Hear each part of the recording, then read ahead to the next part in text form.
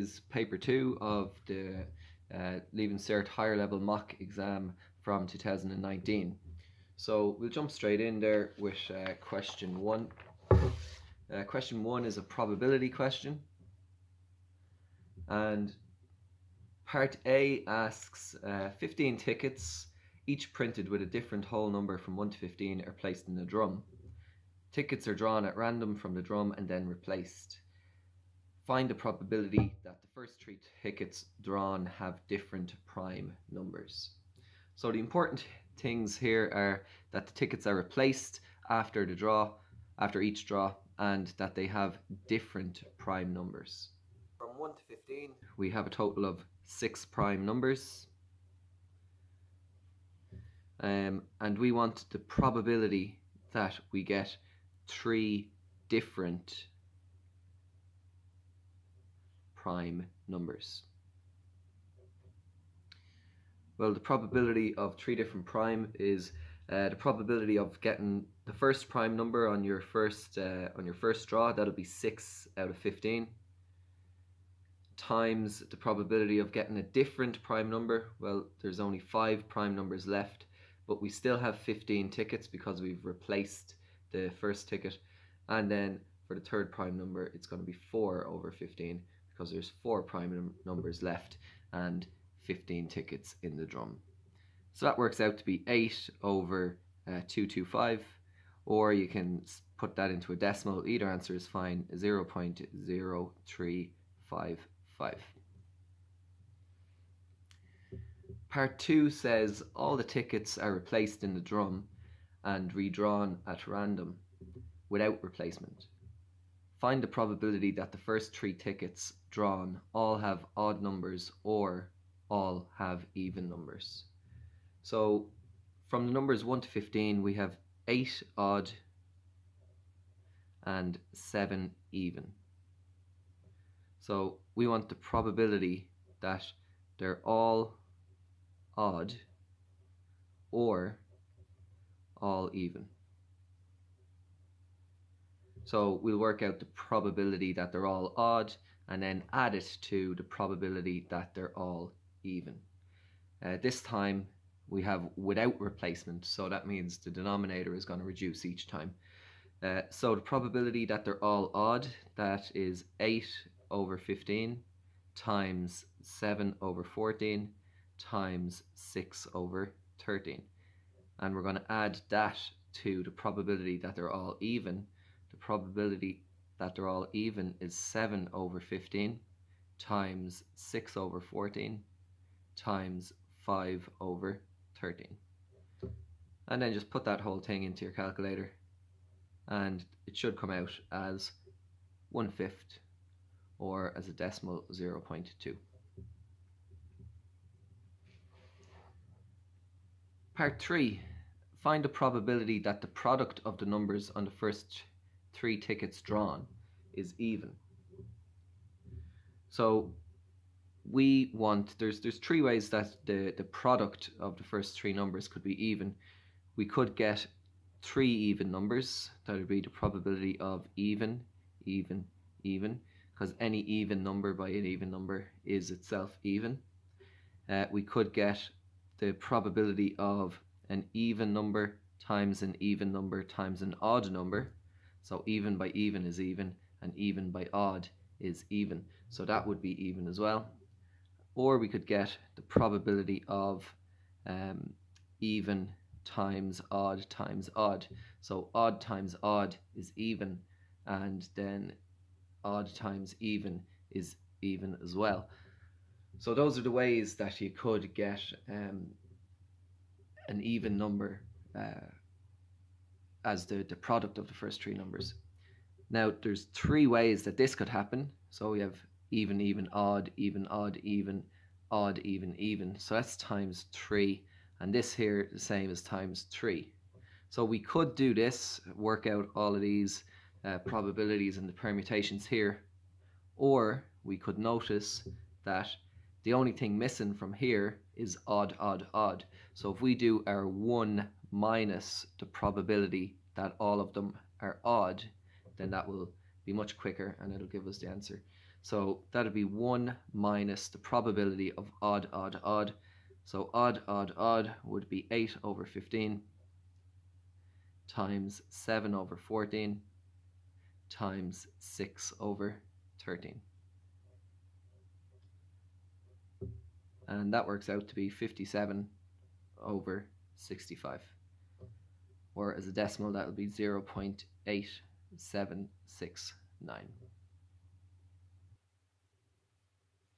On to part B then.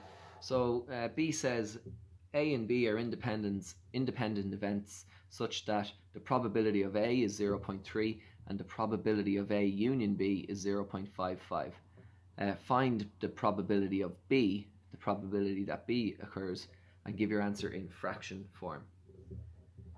So it might help to draw a, a Venn diagram for this. So this is the Venn diagram that I've drawn. I have A, I have B, uh, I have my universal set out here. Uh, the first thing that I'm going to put in is the pro probability of A union B is 0.55. So the probability of neither happening must be 0.45. So that'll go outside here. Um, I'm going to let the intersection equal to x.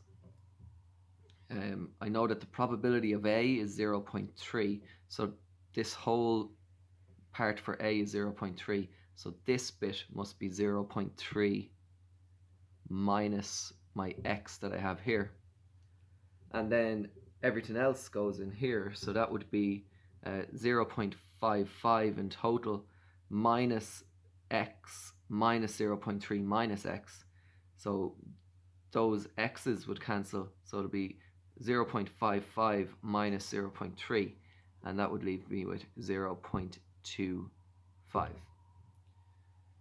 Uh, now, we're told that A and B are independent, so if they're independent,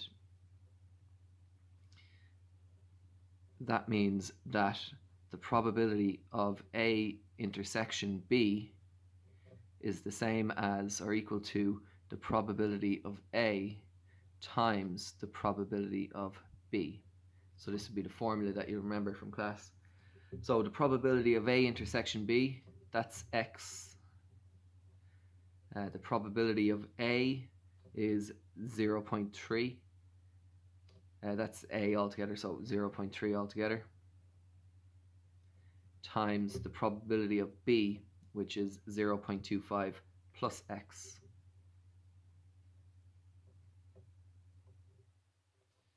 So if we work through that, then we can solve for X and then we can find the probability of B. So x is equal to uh, 0.3 times 0.25 is 0.075 and 0.3 times x is 0.3x. Um, x minus 0.3x is 0.7x is equal to 0.075. Divide across by 0.7, so x is equal to 0.075 divided by 0.7. Uh, that works out to be 3 over 28. So x is 3 over 28. Uh, 0.25 plus 3 over 28. So 0 0.325 uh, plus 3 over 28 is equal to 5 over 14 and remember they want it in fraction form so you would lose a couple of marks if you didn't write it in fraction form.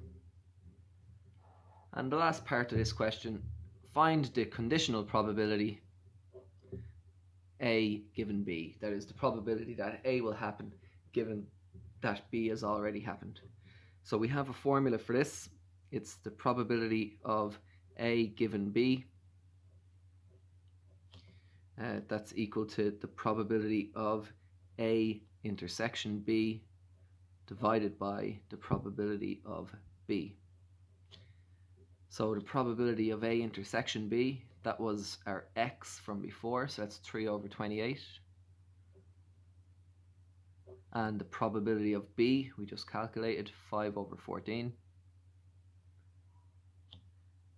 So divide this by this and we get 3 over 10 or in decimal if you like 0 0.3. Okay, so on to question 2 uh, which is a coordinate geometry question. Uh, part A says the line 3x minus 4y plus 6 equal to 0 intersects the x-axis at A and the y-axis at B. Find the equation of the perpendicular bisector of AB and give your answer in the form of ax plus by plus c is equal to 0, where a, b and c are elements of z. That will come important uh, towards the end when we're just writing the final, uh, the final answer. But first of all, we got to start working on this, which is the equation of our line. It intersects the x-axis at A and the y-axis at B. So we need to find the points A and B first of all. So it's going to intersect the x-axis uh, at y equal to 0. So if we let y equal to 0 in here, we'll find the point. So that's 3x minus 4 times 0 plus 6 is equal to 0. So then 3x uh, is equal to minus 6. So x is equal to minus 2. So that gives us the point A, which is minus 2, 0. And then for the point B, that's where it crosses the y-axis. So at the point uh, B, x is equal to 0. So we have 3 times 0 minus 4y plus 6 is equal to 0. That means minus 4y is equal to minus 6. y is equal to 6, uh, minus 6 divided by minus 4, which is 1.5.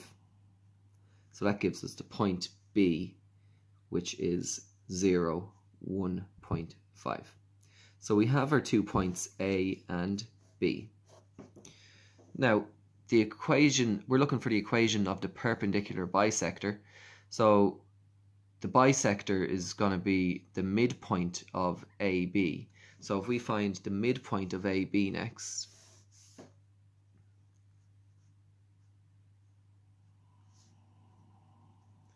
we have a formula for the midpoint of AB, that's x1 plus x2 over 2 and y1 plus y2 over 2. So filling in the values, uh, that's minus 2 plus 0 over 2 and 0 plus 1.5 over 2. And that works out to be minus 1 comma 0.75. So that's the point um, that is the, the midpoint of AB. So that point is going to be on this equation.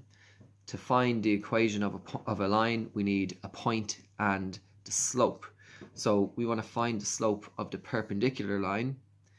First of all, we find the slope of AB and then we can find the perpendicular slope then from that. So two ways we could find the slope. We could uh, rearrange this into y equals mx plus c or we can use the slope formula. So either way uh, is, is acceptable. I'm going to use the slope formula. So the slope of AB uh, the formula is y2 minus y1 over x2 minus x1. That's 1.5 minus 0 over 0 minus minus 2. And that works out to be 3 over 4. So 3 over 4 is the slope of AB. So the perpendicular slope then, which is the slope of our line that we're looking for, is going to be minus 4 over 3. So you flip it and you change the sign. So 3 over 4 is minus 4 over 3, the perpendicular slope. So we have a point, we have the slope. So now we can use our equation of a line formula. Y minus y1 is equal to m times x minus x1. So that's y minus 0.75. That's our y1 that's our x1, is equal to m, which is minus 4 over 3, times x minus x1, so that's minus minus 1, which is plus 1.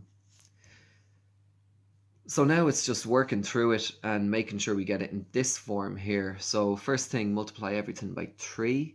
So that'll be 3y uh, minus 0.75 times 3 is minus 2.25. On this side, multiply by 3.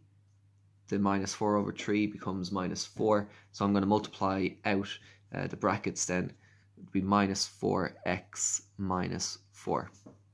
We want everything to the left-hand side. So that would be 4x plus 3y plus 1.75 is equal to 0.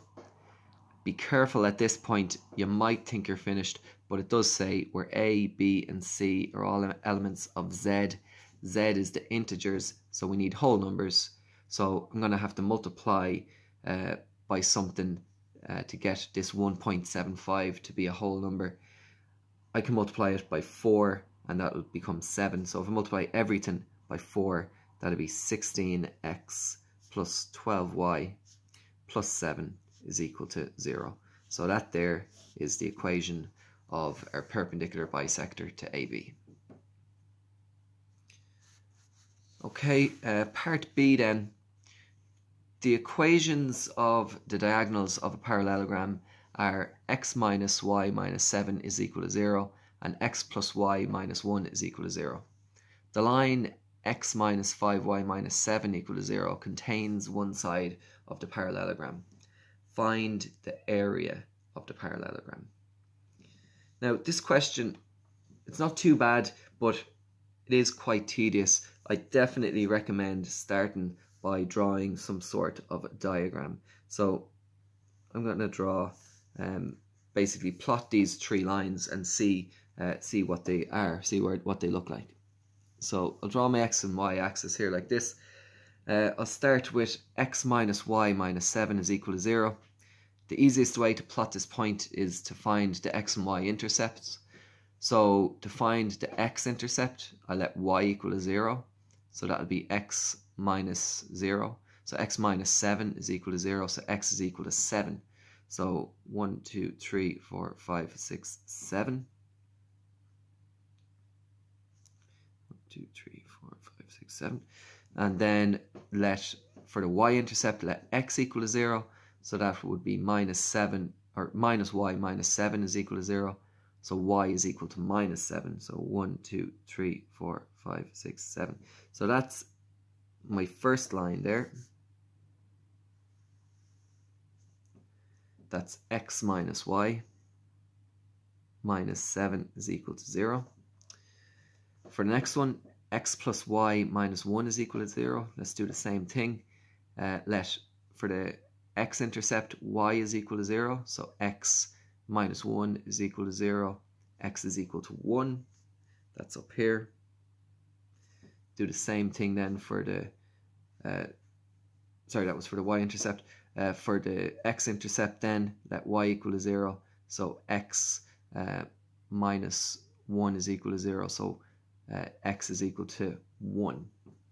So get the point, uh, the y-intercept, x was 1, and the x-intercept, y was 1.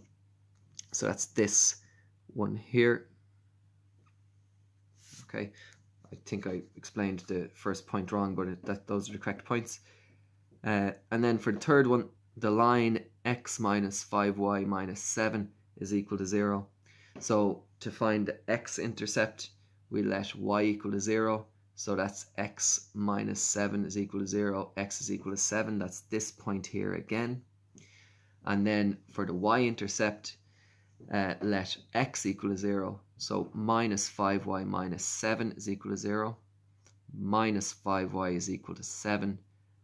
y is equal to minus 7 over 5, which is minus 7 over 5, which is around about here. So that is our third line. So this one again was x plus y minus 1 is equal to 0 and then this one here is my 5 uh, sorry my x uh, minus 5y minus 7 is equal to 0.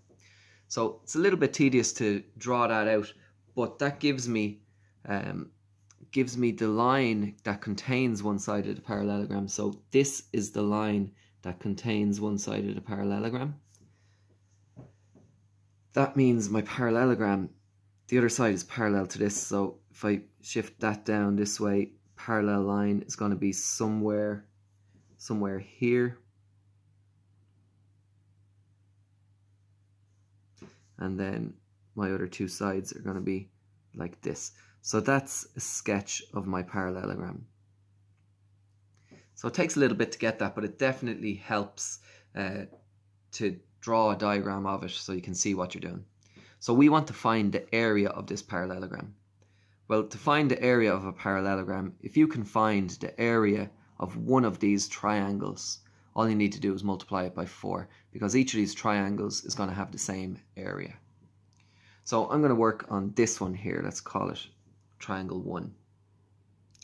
Area of a triangle, I need the three points, the three vertices. If I have the three vertices, then I can move them over.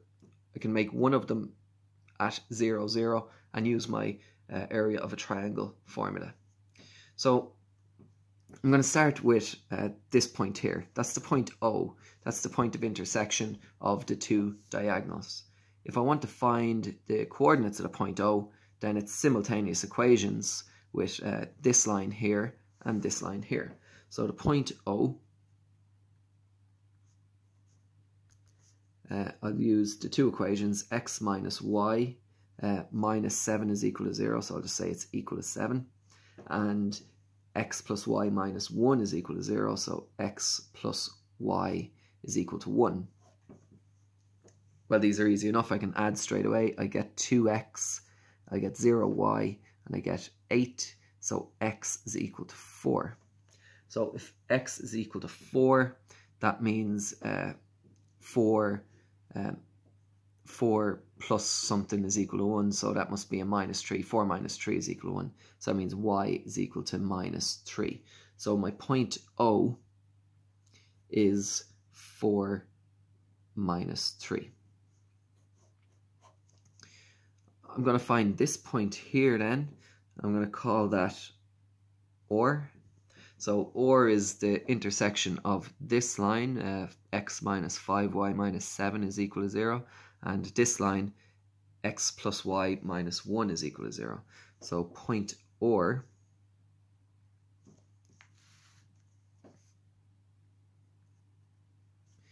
uh, that's the intersection of x minus 5y minus 7 is equal to 0. I'll just say equal to equal to 7. And x, uh, which one was it? This one. x plus y is equal to 1. So I think the easiest way for this would be to subtract the x. So subtract that and subtract that. That means the x's would cancel out. I'd get minus 5y minus y is minus 6y. 7 minus 1 is 6, so that means y is equal to minus 1. Well, if y is minus 1, that would be x minus 1 is equal to 1. That would mean x is equal to 2. So that gives me the point OR of 2 comma minus 1. So I have two points so far. I have O, I have OR, and let's find this one here, that's P. Well, I don't need to do anything really to find P because I know P is on the x-axis and I know it cuts the x-axis at x equal to 7. So P has coordinates of 7, 0. That's from before. So I have my three points. I'll just write them up here. I have P, 7, 0.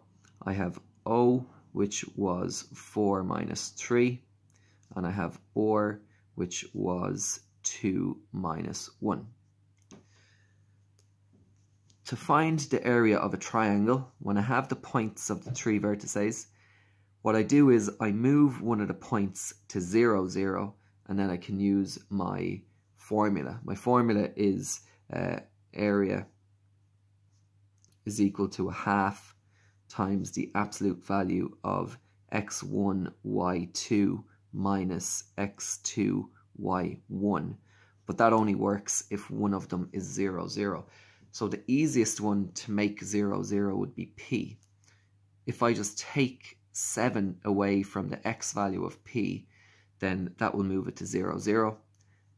I don't need to do anything to the y value, so I'll do that to each of these. I'll take 7 away from the x value. So my point p then becomes uh, p dash, which will be 0, 0.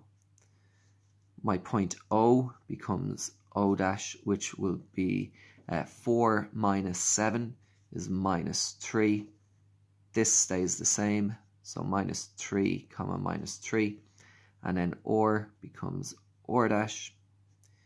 So 2 minus 7 is minus 5. And then don't need to do anything to the minus 1.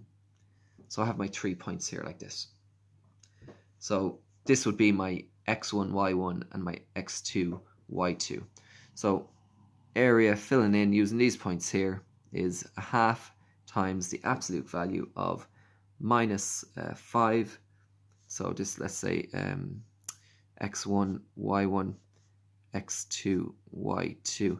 So minus 5 times minus 3 minus x2 is minus 3 times y1 which is minus 1 so that's a half times that works out to be 12 inside of there. Half times the absolute value of 12 which is 6 so that's just the area of the triangle. Remember uh, POR and I said earlier on that the area of the parallelogram will just be four times the area of one of these triangles. So the area of the parallelogram is equal to 6 times 4, which is 24 square units. Okay, so on to question 3 then, and question 3 is our circle question. Uh, starts off with part A, the equation of the circle C is x squared plus y squared plus 2x minus 4y minus 20 is equal to 0. Find the centre and radius of C. So this is the general equation of a circle. Um, it's x squared plus y squared plus 2gx plus 2fy minus uh, plus c um, equal to 0. So the centre which we usually call O, is given by minus G minus F. So if you have the equation in this form here, you half this and change the sign, half this and change the sign. So that's equal to uh, minus 1 and 2. So the centre of this circle is minus 1, 2. The radius then uh, we have the formula for it, or is equal to the square root of g squared plus f squared minus c. So that would be the square root of g, which was minus 1, so minus 1 squared plus f, which was 2, so plus 2 squared. Um, the signs actually don't really matter here because we're squaring it you're going to get a positive answer anyway. So it should actually be uh, 1 squared and minus 2 squared. So I'll just put that in 1 squared and minus 2 squared. And then minus c. So c is, is 20 minus c is minus minus 20. So that works out to be the square root of 1 plus 4 plus 20. That's equal to root 25. So therefore, or is equal to 5. Part B. Now, part B says uh, two lines, L and K, intersect at the point 2 minus 2. The distance from the centre of the circle C to L and K is 2 root 5. Find the equations of L and K. This is a slightly different take on a very common question. So the common question is um, when you have a circle and you have a point out here and that point makes uh, two makes the, so the point of intersection of the two lines and it makes two tangents to the circle so tangential here and here. Uh, this question is very similar to that um, but instead of the two lines being tangents what's happening here is that the two lines they just go through the circle at some stage but the distance from the center to each line is still equal and it's given to us as 2 root, 2 root 5 whereas in the normal uh, question that you're probably used to the distance from the center to each uh, line would be equal to the radius. In this case it's not. In this case they're not tangents. So the distance is given as 2 root 5 so this is the type of question where you use the perpendicular distance from a point to a line formula and it's all in terms of m and you solve for the two different m's. So we'll start off by writing down uh, the equation of L and K. Now this will be in terms of, uh, of M. So the general equation of a line is y minus y1 is equal to m times x minus x1. We have our point. Um, the point we're going to use is uh, this point here. So that's a point on our line. So that'll be y uh, minus y1 is y plus 2 is equal to m times x uh, minus 2. So that'll be y plus 2 is equal to mx minus 2m. Now I'm just going to write it in the form of ax plus by plus c equal to 0. So to get it all into that form, get everything to one side, and I'll have the leading coefficient uh, positive. So that'll be mx minus y minus 2m minus 2 is equal to 0. That's my general equation of both lines L and K. Now I just need to find what m is, and that'll give me the equation of both lines. So I'm going to use the perpendicular distance from uh, perpendicular distance from a point to a line. So it's from the center, uh, which we found earlier on as minus 1, 2. Uh, center O was minus 1, 2. And the perpendicular distance to the line is 2 root 5. So for this formula, it's d is equal to the absolute value of ax1 plus by1 plus c all over the square root of a squared plus b squared. Now, a and b are from this along with c and x1, y1 is the center here. So that's x1, y1 and over here, I'm just going to write what A, B, and C are. A is the coefficient of x, so in this case it's m. B is the coefficient of y, so in this case it's minus 1. And C is the constant, which is minus 2m minus 2. Minus 2m minus 2. Be careful that you do get the signs in there correctly. And D is 2 root 5. So I can fill out this formula and it'll be in terms of m and I'll solve it for m. So d is 2 root 5. That's equal to the absolute value of ax1. So a was m, x1 was minus 1, plus b, which was minus 1, times y1, which was 2, and plus c, which was minus 2m minus 2. And remember, it's the absolute value of that all over the square root of a squared plus b squared. So a squared, that's m squared, and b squared is minus 1 squared, which is just plus 1. So I have this uh, equation here now. There's some square roots in it and there's some absolute values in it, and it's in terms of m. To solve this, I can get rid of the square root, the absolute value, and the square root all in one step by squaring everything. So if I square this side and if I square this side, squaring the fraction is just just has the effect of squaring the top and squaring the bottom. Um, I should probably tidy up inside uh, in the absolute values first before I go squaring it. But I can square this side, so uh, 2 root 5 squared is 2 squared and root 5 squared, so that's 4 by 5, so that's 20, is equal to, I'm just going to tidy this up, I'm not going to square it yet. Uh, when I tidy that up, I get minus 3m minus 4, and that's going to be squared.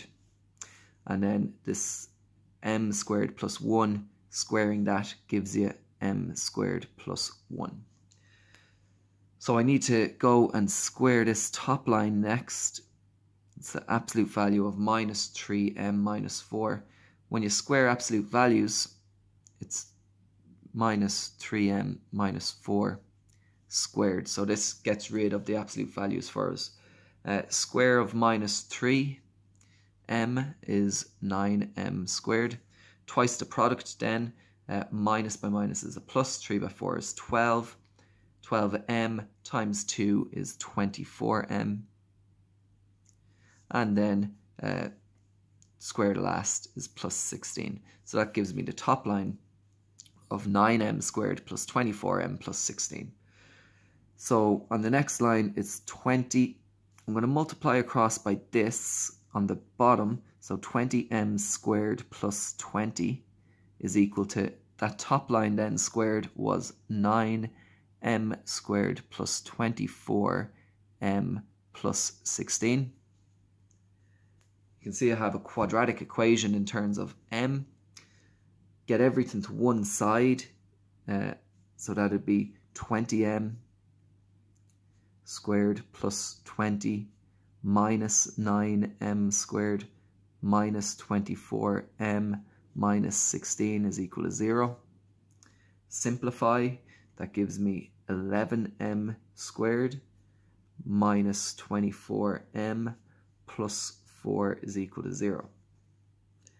So let's see if we can factorize this now. Um, so factors of 11m squared are 11m and m, so that's a prime number, so there's no other factors. Factors of mine of 4 then, and I need uh, need the product then to give me minus 24. It's going to work out at minus 2 and minus 2. We can check that by saying 11m by minus 2 is minus 22m and then minus 2 by m is minus 2m, so that's minus 24. So it's the product of the outside 2 plus the product of the in inside 2 should give you the middle term there. Uh, and that's equal to 0. So we can let each factor equal to 0 and solve for m. That one ends up giving us m is equal to 2 over 11 and that one gives us m is equal to 2. So I have my two slopes. Remember that m is the slope of the of each line that I had. I have the equation of the line in terms of m from up here. So if I sub m into that, I'll get the first equation. And if I, if I sub this m into that, I'll get the second equation. Uh, another way I could do it is just use um, this formula again, y minus y1 is equal to m times x minus x1. So either way is fine. Um, might actually be easier to, to do this one. So we'll do we'll do that one. So that's y uh, minus y1. Remember my point is uh, 2 minus 2. So that's y plus 2 is equal to 2 over 11 times x uh, plus, or sorry, minus x1. x1 was 2, so y x minus 2. Uh, and we can simplify that out. Multiply across by 11, so 11y plus 22 is equal to 2x minus 4. Um, it doesn't ask us to put it in any particular uh, form, so I'll just tidy up by um, by maybe adding 4 to both sides. 11y uh, plus 26 is equal to 2x. Uh, that form should be fine. If you want, you could maybe take everything to one side and have 2x minus 11y minus 26 is equal to 0.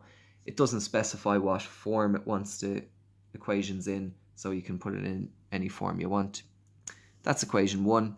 Equation 2 then using m equal to 2, so that'll be y plus 2 is equal to 2 times x minus 2. So that's y plus 2 is equal to 2x minus 4. Um,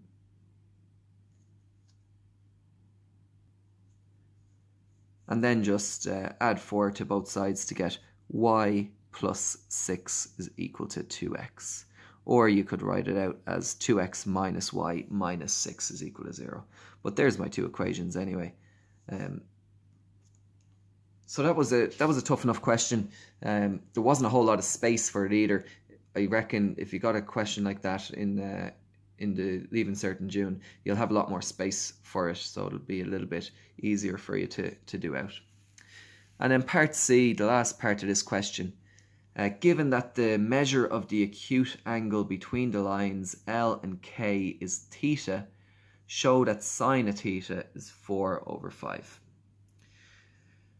So uh, the angle between two lines, uh, we have a formula for that. It's tan of theta is equal to uh, plus or minus, or plus and minus, m1 minus m2 over uh, 1 plus m1 times m2. So we just need to know the two slopes, and we have them just up above here.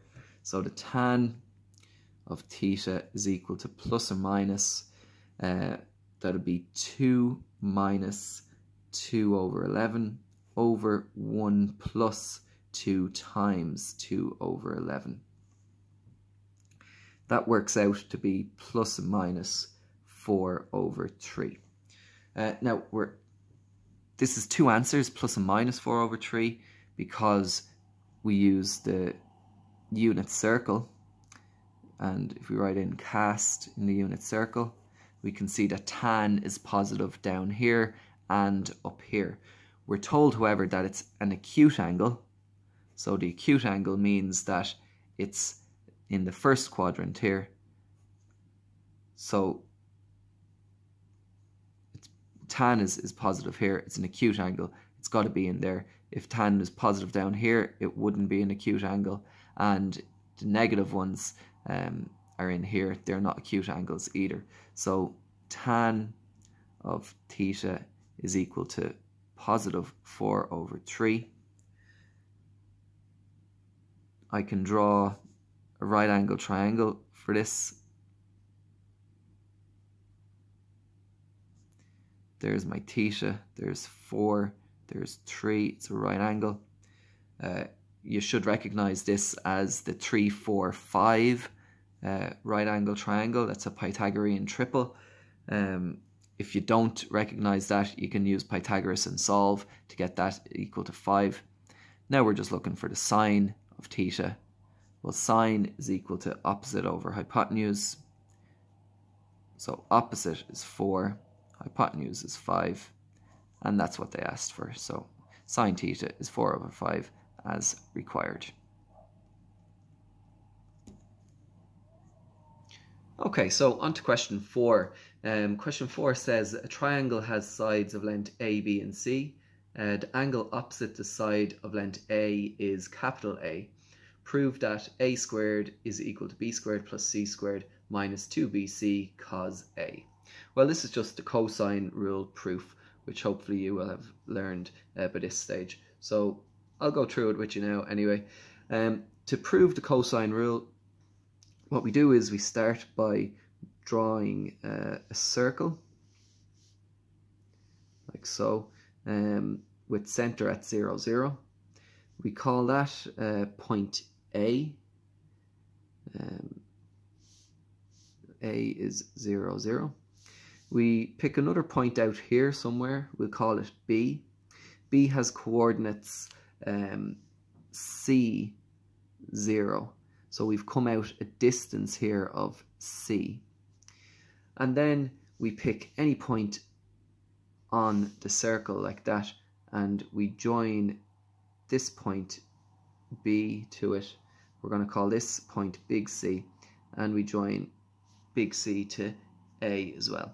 So if this is point B, that's angle B and side small b, this will be angle A and this will be side small a and this we already said was side C and this is angle C. Uh, we have coordinates for A and B. We want coordinates for C. Well, if you use, uh, or if you remember back to your unit circle, the coordinates of C would be cos A, sine A, but um, we don't have, it's not a unit circle. The radius of this circle is B, so it's actually B cos A, comma, B sine A. So those are the coordinates of, of C. So a couple of things uh, to write down before um, before we can start working it out. The length of AC is equal to B. Um, C, the coordinates of C were B cos A and B sine A.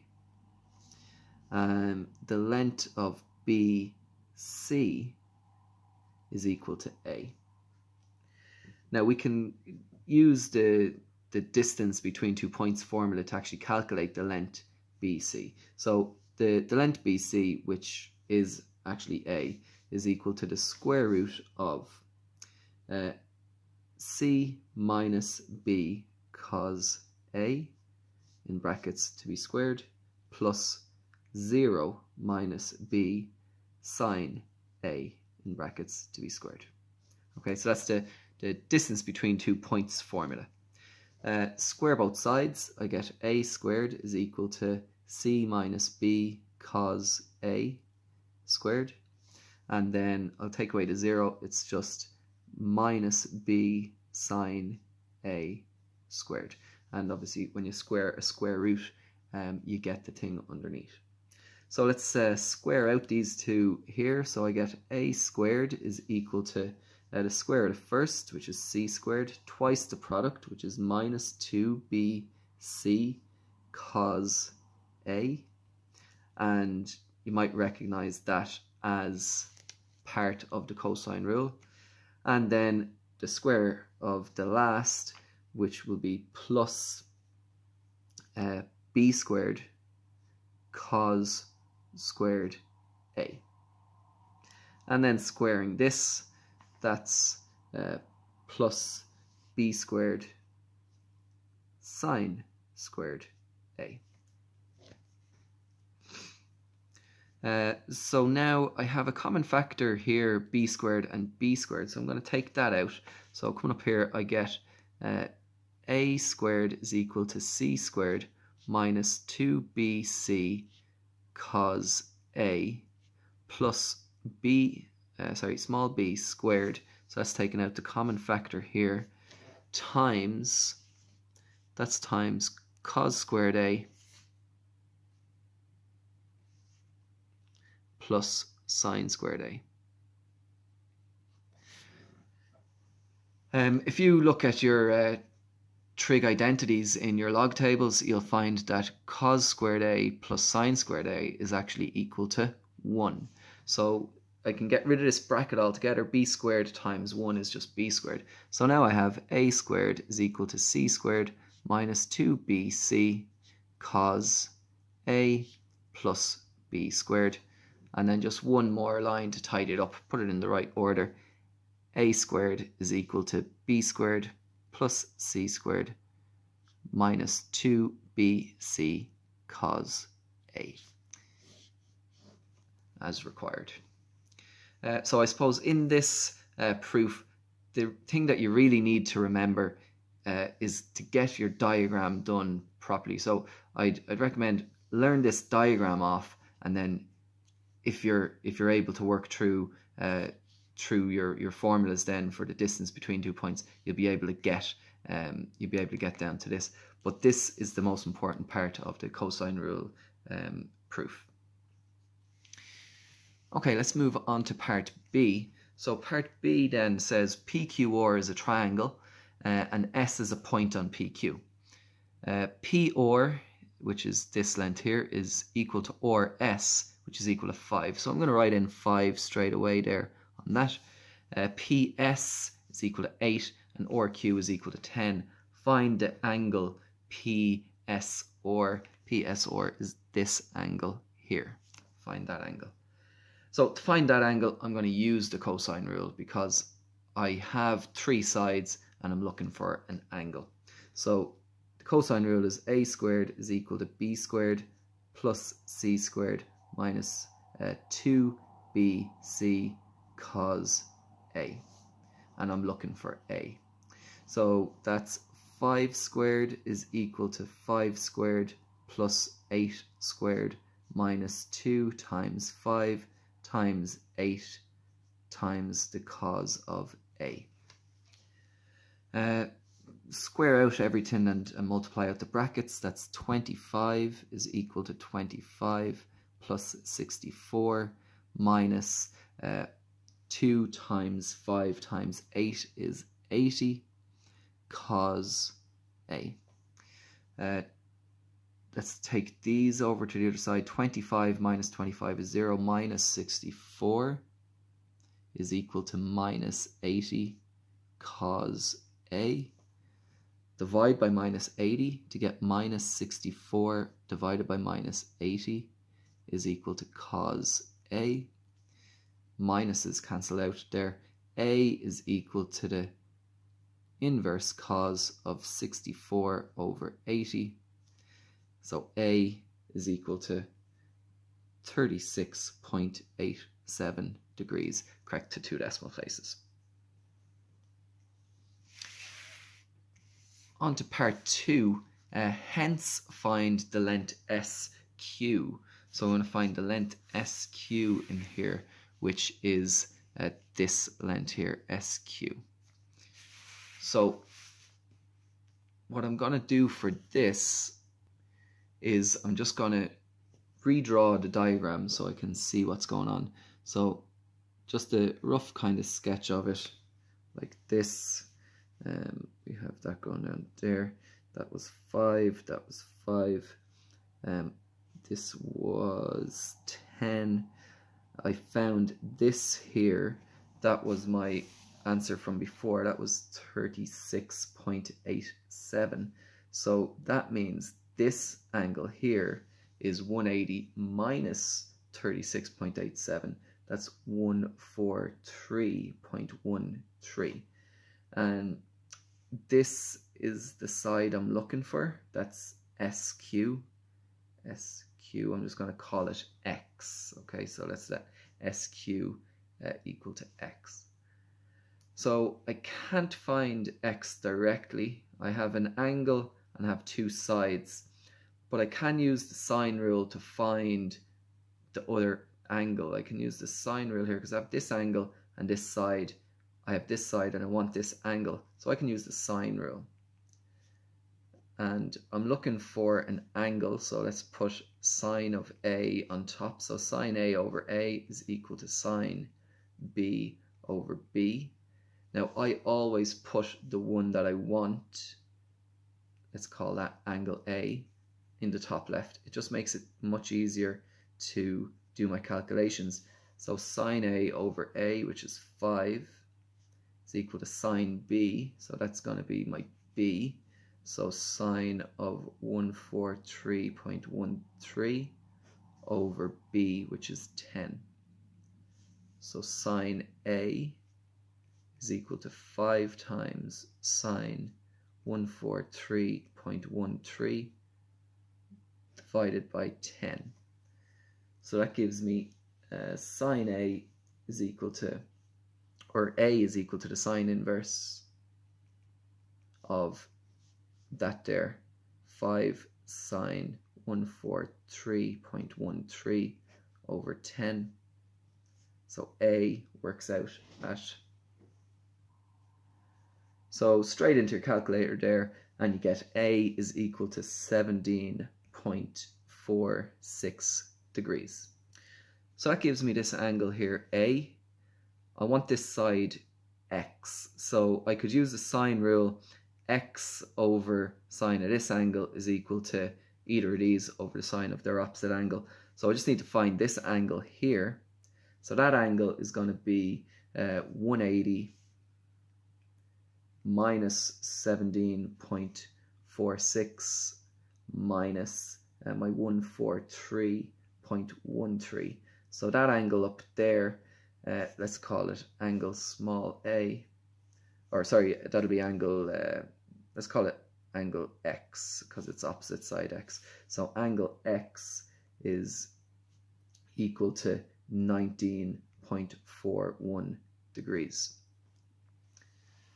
Okay, so I'm nearly there. I'm looking for this side x here. So it's the sine rule again.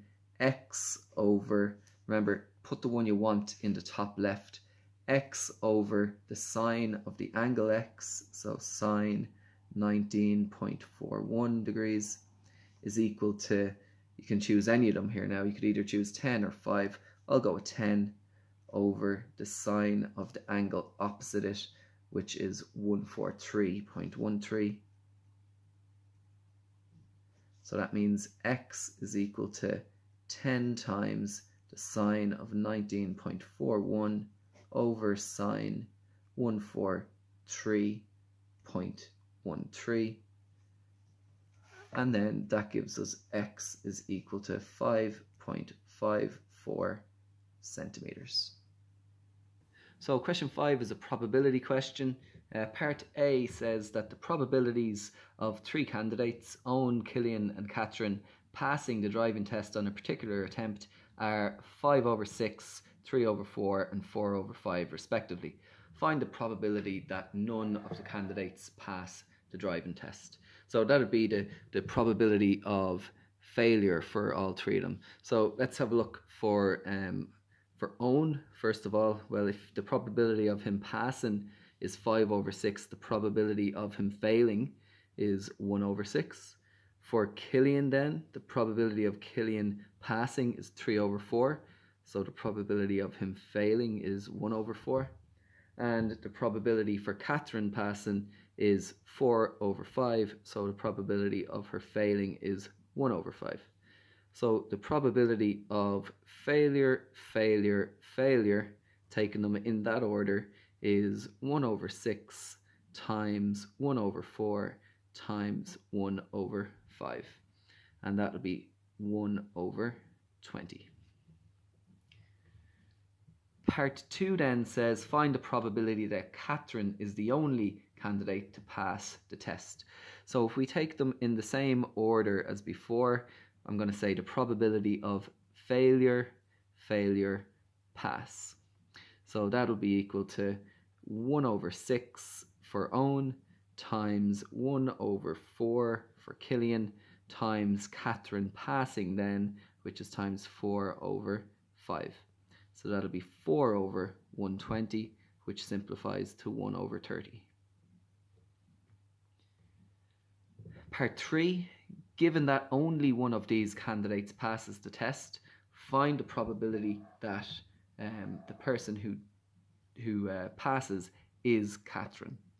So what we need to do is find the probability of each one of them uh, being the only person to pass first of all. So the probability of let's say um, the first person Owen passing, so pass, fail, fail that'd be 5 over 6 times 1 over 4 times 1 over 5.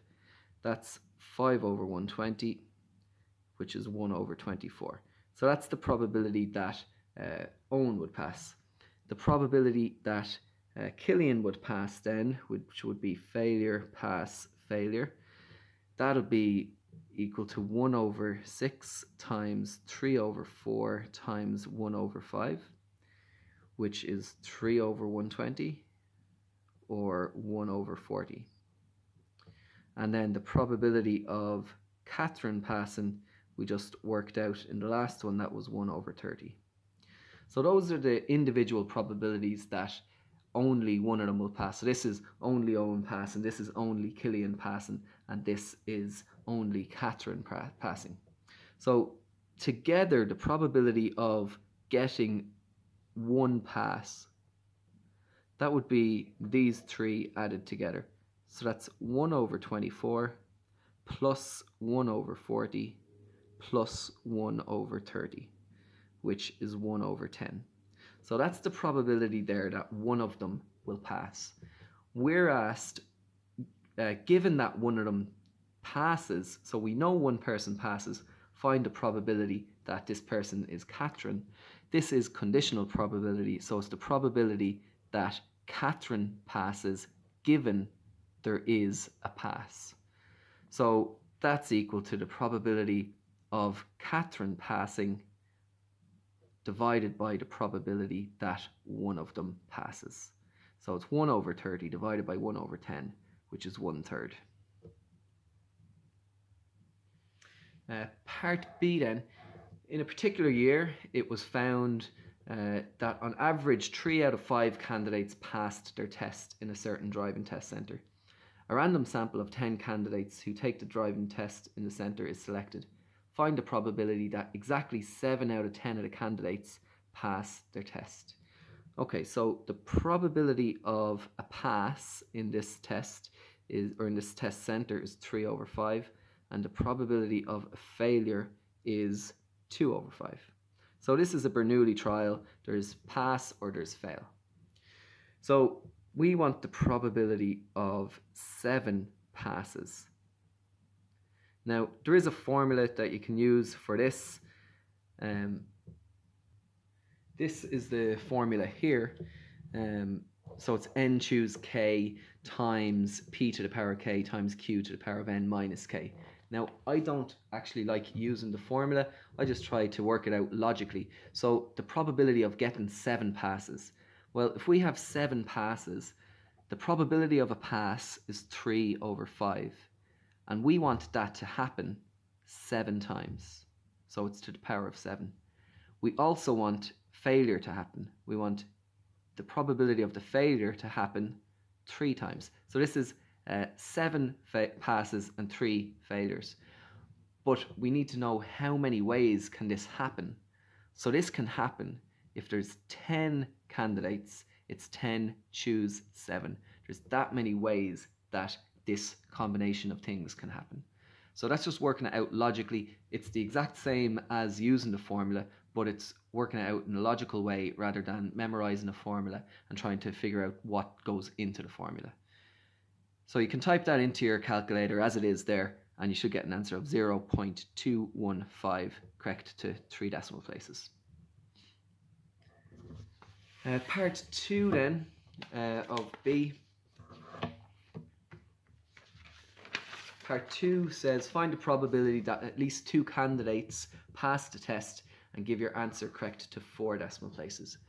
Well, the probability that at least two pass, so probability at least uh, at least two pass the way to do this is 1 minus the probability of 0 passing and the probability of 1 passing. So you could go and figure out the probability of 3 passing, the probability of 4 passing, the probability of 5 passing, etc. all the way up to 10 passing and add them together. But it's quicker to say 1 minus what doesn't happen. So that would be equal to 1 minus the probability of 0 passes. Well, 0 passes would be all failures, so that's 2 over 5. And how many times? 10 times, so all failures. Plus the probability of 1 pass, so that would be the pass is 3 over 5. We want it to happen one time. And then the failure is 2 over 5, and we want that to happen 9 times. And then how many ways can this happen? Well, that's 10 choose 1, which is just 10. So again, that's, that's the same formula from earlier on, but it's just working it out logically. So you can type that into your calculator as it is there 1 minus that stuff in the brackets. Just be careful to use your brackets, uh, especially because you have this minus outside of this here. Uh, so that is equal to 0 0.9983, correct to four decimal places. Okay, so question six then, which is a geometry question. Uh, part A, uh, ABCD is a square of side 5 units. BC is extended to the point E, uh, such that BE is 9 units. Uh, AE and DC intersect at the point F. Uh, 1. Prove that triangles FCE and FDA are similar. So FCE is this small triangle here and FDA is this small triangle up here. So to prove they're similar, we need to prove that the three angles uh, are equal. So the first one is they both have a right angle there. That would be that one. So um, you can say angle FCE is equal to the size of the angle FDA. Now you need to give a reason and to get full marks. So the reason is that they're both 90 degrees. Uh, number two then, uh, we're going to say that uh, this one, EFC, is equal to AFD. And why is that? That's because they're vertically opposite. So the angle EFC is equal to the size of the angle AFD. And remember, you have to give your reason. The reason is that they're vertically opposite. And then the third one then is that this angle here is equal to this angle here.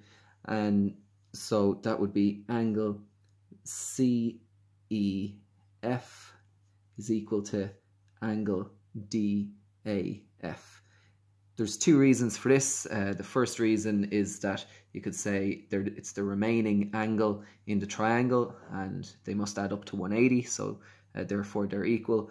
Or you can say that uh, they are alternate angles, um, which is the one that I'm going to go for, alternate angles, because we know that this line and this line is parallel because it's a square.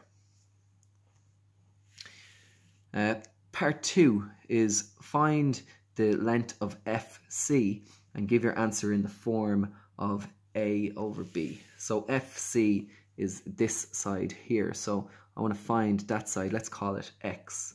I'm going to add in some other things that I know about everything here. So it's a square of length 5. So I'm going to add in all my 5s there. I know that BE is 9, so that leaves that being 4. And if DC is 5 and this is x, that leaves me with 5 minus x. So given that these two triangles are similar, I, I know that the ratios of their sides um, are equal to each other. So I can say the length of this side over this side is equal to the length of this side over this side. So that gives me um, I'll just write it out for you which sides it is. So it's FC over FD is equal to CE over AD. So it's this one over this one. So it's the one between the right angle and the single dot. Right angle, single dot. So this over this is equal to this over this. So that's right angle and double dot. Right angle and double dot. So filling it in, it's x over x minus 5. Um, sorry, that's 5, 5 minus x, not x minus 5. 5 minus x is equal to 4 over 5. Simplify this, then multiply across by 5 minus x times 5 to get 5x equal to 4 times 5 minus x. So that's 5x is equal to 20 minus 4x.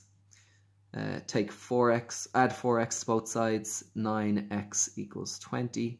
So x is equal to 20 over 9. Uh, part 3 then, hence find the area of the quadrilateral uh, A, B, C, F. Um, give your answer in the form of A, B. So that's the quadr A, B, C, F is this quadrilateral. Well, basically, it's the square minus this triangle. So I'm going to say the area is equal to the square. It's the square of 5. So that's 25 minus the triangle. So my triangle is, of course, a half times the base times the perpendicular height. So that's a half. Let's say the base is 5. And the perpendicular height then is 5 minus x. So that's 5 minus 20 over 9. So 5 minus 20 over 9. And that works out to be 125 over 18. So that's the area of the triangle. So my area then of my quadrilateral is 25 minus that um, 125 over 18, uh, which works out to be 325 over 18. And just be careful, it does say in the form of A over B, so don't write it as a whole number with, uh, with a fraction remainder. On to part B then. The triangle POQ is a right angled at 0 and OR is perpendicular to PQ as shown. Um, PO is 14, so that's this side here, and OQ is 48, that's that side there. Uh, find the length O OR, which is this one here. Find that one, X. So to find this one here, um, basically I have similar triangles. I have this big triangle here is similar to this small triangle here. The way I can say that is I have a right angle in both of them. They share this angle here, that's common. So therefore the third angle must be equal as well. So that means they're similar triangles. So I can use my ratios again uh, and I can say that one, maybe this over this is equal to this over this. So I just need to find this side PQ. So PQ using Pythagoras is just equal to the square root of 14 squared plus 48 squared. Uh, that works out to be 50. So the length here, PQ, is 50. Then I can use my similar triangles. So what I'm going to do is O OR over PO is equal to OQ over PQ. So that's OR, which is this side, the side I want X, over PO, which is this side here of that triangle, the big triangle, is equal to OQ, that side there, over PQ, that side there. So OR is X, PO is 14, OQ is 48, and PQ is 50. So then X is equal to 14 times 48 over 50, which works out to be 13.44 centimeters.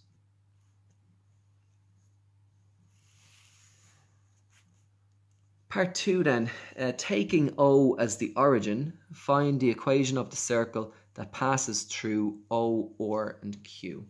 So just to give a little sketch of this, the, a circle passes through O, or and Q. That means it has some sort of uh, arc coming going through all these three um, these three points there like that. Now, if I have a chord like this going from one point on the circumference to another point on the circumference and the third angle, the angle that's subtended on the on the circle is a right angle, then that means that this chord is actually a diameter. So that gives us the diameter of the circle being 48, which means the center of the circle is here, which is 24 units away. So that is the point 24, 0. So I can find straight away the center of the circle. So the center is equal to 24, 0. And the radius, well, the radius, if this is the origin and this is the center, then we've come 24 units from the center to the from the uh, center to the origin. So that means the radius is 24. So r is equal to 24. So now we can just use the equation of a circle. So the equation of the circle uh, from your log tables is x minus h squared plus y minus k squared is equal to r squared. Fill in what we have. So x minus 24 squared plus y minus 0 squared is equal to four, uh, 24, was it 24 squared? Um, squaring these out and simplifying it all down, um, you end up getting x squared plus y squared minus 48x is equal to 0. So that would, that would be your final answer here. Um, just working through, squaring out this bracket. Um, y minus 0 is y, so that's just y squared. Squaring out that, simplifying it up as much as you can, you end up with x squared plus y squared minus 48 equal to 0. Okay, so on to part B, and this is question 7. So, uh, a wind turbine used to generate electricity has three equally spaced blades of equal length as shown. When the wind turbine is operating, the blades rotate at a constant speed. Uh, the tips of the blades are painted in different co colours to distinguish them from each other uh, for maintenance and quality control. The tip of one blade is painted red and the height of this tip above ground level in meters can be modelled using the function h of t is equal to 65 plus 36 sine 3 over 2t minus 15 cosine 3 over 2t, where t is the time in seconds and 3 over 2t is expressed in radians. Part A, find the height of the tip of the blade above the ground when t is e equal to 0. Um, so for this, we don't actually know where it's starting. Um, it's not necessary that the, the tip of the blade is at the bottom or at the top. It's just at time zero. So we're going to go and find the h of 0. So that's subbing in 0 instead of t. So that'll be 65 plus 36 sine uh, 3 over 2 times 0 is 0 minus 15 cosine 3 over 2 times 0 is 0. So you can type that into your calculator there as it is. Just remember that we are in radians and you get 50 meters. Uh, part 2 then says, uh, find the times in the first revolution uh, when the tip of the blade is exactly 65 meters above ground level uh, and give your answers in seconds correct to three decimal places. So it says times because we'll say if, for example, this was 65 meters, it would be at 65 meters when the blade is there as well. So you get two answers for it. So find the times uh, when the tip of the blade is exactly 65 meters. So that means the h of t is equal to 65. So the function is equal to 65. So we say 65 is equal to uh, our function here, h of t. So that's 65 is equal to 65 plus 36 sine 3 over 2t minus 15 cos 3 over 2t.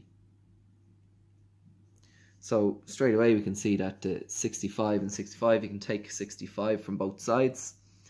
And then we can maybe add this to both sides to get 15 cos uh, 3 over 2t is equal to 36 sine uh, sine 3 over 2t. Then we can divide both sides by 36 and at the same time divide both sides by cosine 3 over 2t. That will give us 15 over 36 is equal to sine uh, 3 over 2t over cosine 3 over 2t, Remember, we're trying to solve for t here to see what t is. So sine over cosine, you should know, is equal to tan. So that's tan of 3 over 2t is equal to 15 over 36. Now, if I want to find uh, 3 over 2t, so that would be the tan inverse of 15 over 36 will give me 3 over 2t. Uh, the tan inverse of uh, 15 over 36 is 0 0.394791. So that's equal to 3 over 2t. So that works out uh, t is equal to uh, this divided by this or this multiplied by 2 over 3, whichever way you want to solve for yourself. You end up getting t is equal to 0 0.263 seconds. So remember that we are asked for the times, okay, so find uh, the times, plural. So if we go to our unit circle um, and we look at cast, we are looking for when is tan positive. So we know that tan is positive in the first quadrant and in the third quadrant. So this one here is the first quadrant. Uh, to get it in the third quadrant, it's going to be uh, it's going to be this plus pi. So pi plus 0 0.39. So let's say 3 over 2 uh, t is equal to 0 0.3941 uh, plus pi. And that will bring us around into the fourth quadrant. So then t is equal to um, this divided by 3 over 2, so 0 0.394179 plus pi divided by 3 over 2 and that ends up working out as t is equal to 2.358 seconds. Hence or otherwise find the time for each blade to complete one revolution. So time um, for one revolution, well if we just look at um, the two the two times that we had um, from before, we had kind of this angle here and this angle here. They're 180 degrees or pi radians away from each other.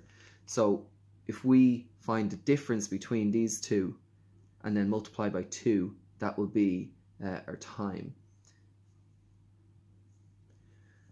So our time is 2 times the difference between these two angles. So 2.358 minus 0.263 and that works out to be 4.19 seconds.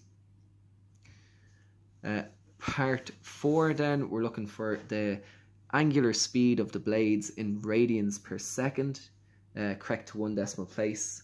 Well, angular speed um, angular speed is equal to the revol time for one revolution. So revolution divided by time. So one revolution is 2 pi and time for one revolution is 4.19 seconds. So that works out to be 1.5 radians per second.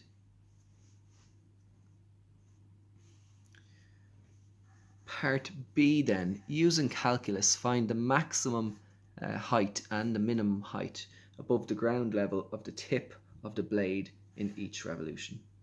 So using calculus is a strong hint for differentiation here and maximum and minimum uh, that's going to be differentiating and letting the derivative equal to zero and then solving for uh, for t and then subbing t back into the original function to find the, the maximum and minimum heights.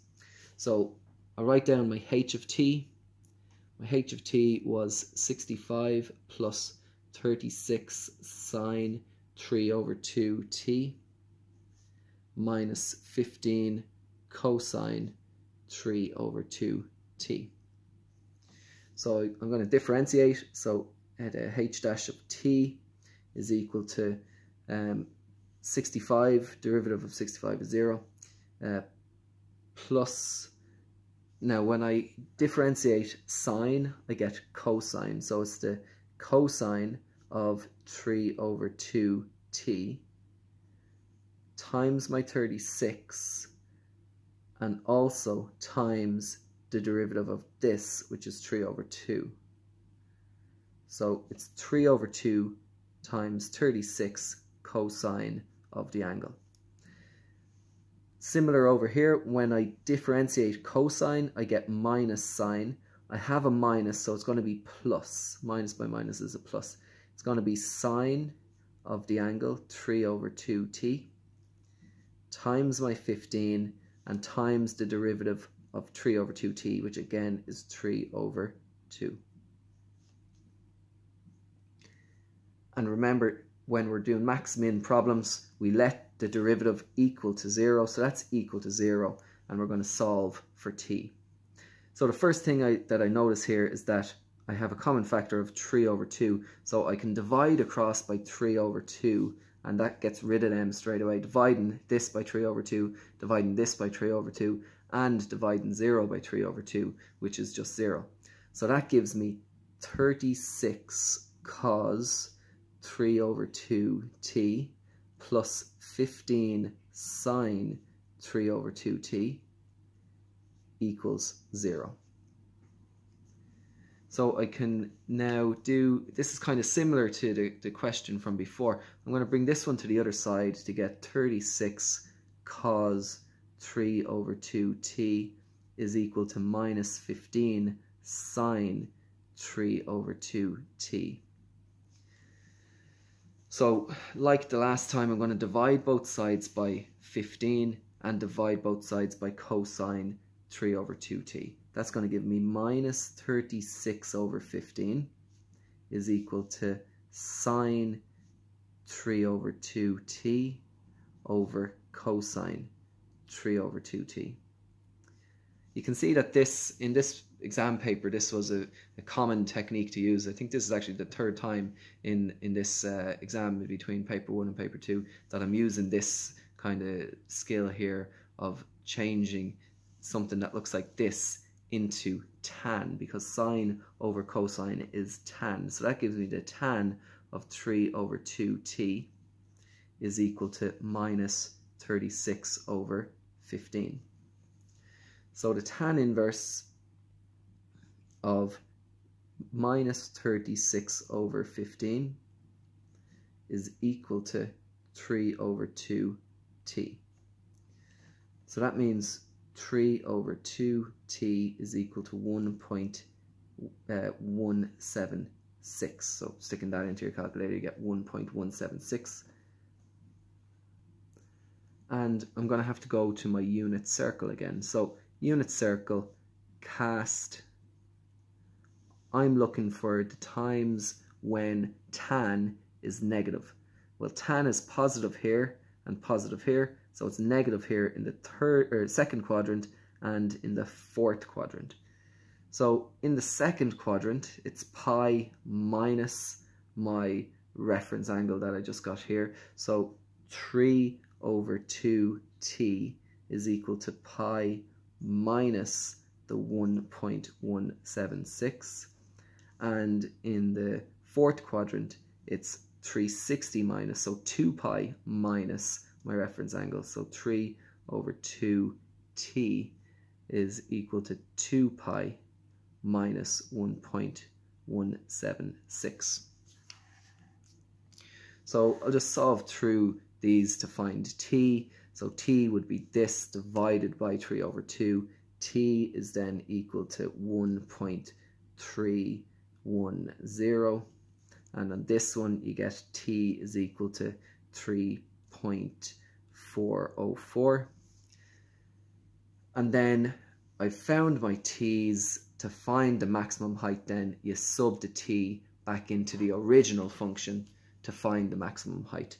So it's the h of 1.310 uh, is equal to, you sub it all in and pop it into your calculator. I'm subbing into this here. Uh, so sub uh, 1.310 in instead of t here and here.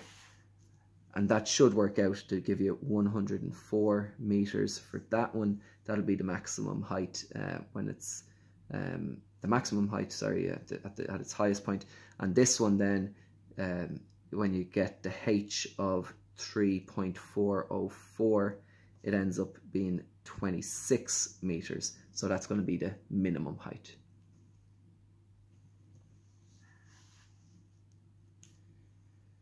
Part 2, hence find the length of each blade.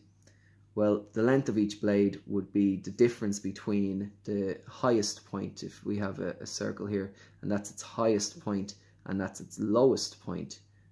The length of a blade would be half the distance between them. So the distance between them would be 104 minus 26 and we get half of that.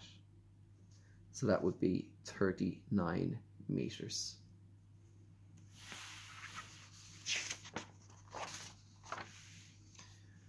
Uh, over the page then to part 3. Find the distance traced out by the tip of the blade in one full revolution and give your answer in terms of pi.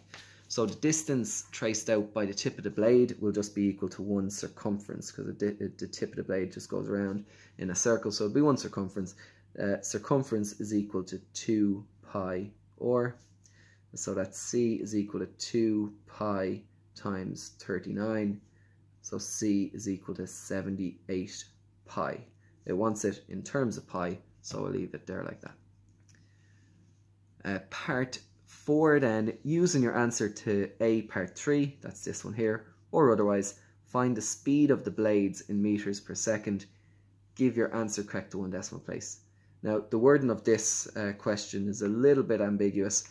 What they actually mean is find the speed of the tip of the blade. Okay, and I suppose the hint there is using your answer to this. So this one, that's the, the, the uh, distance traced out by the tip of the blade. It actually says that in that question. So they want the speed of the tip because of course the tip of the blade is traveling at a faster speed uh, in meters per second than say a point nearer to the center. So speed is equal to distance divided by time. So the distance uh, from part uh, 3 before is 78 pi the time, we actually found that earlier on, time for one revolution was 4.19 seconds. So that works out to be 58.5 meters per second.